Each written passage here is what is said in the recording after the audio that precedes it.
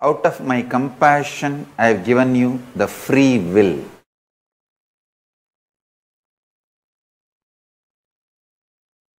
Any being given the free will as freedom to choose to be in delusion or move towards liberation. Even I do not interfere in your freedom to be in delusion.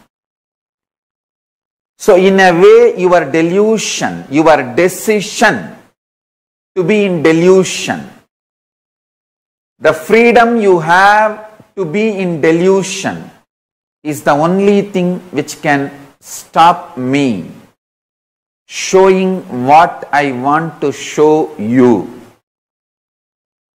Your freedom to be in delusion only can stop you from seeing my true form, my existence as I am.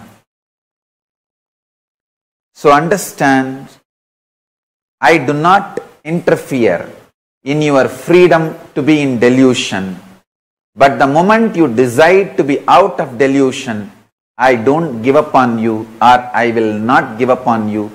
I do not forsake you.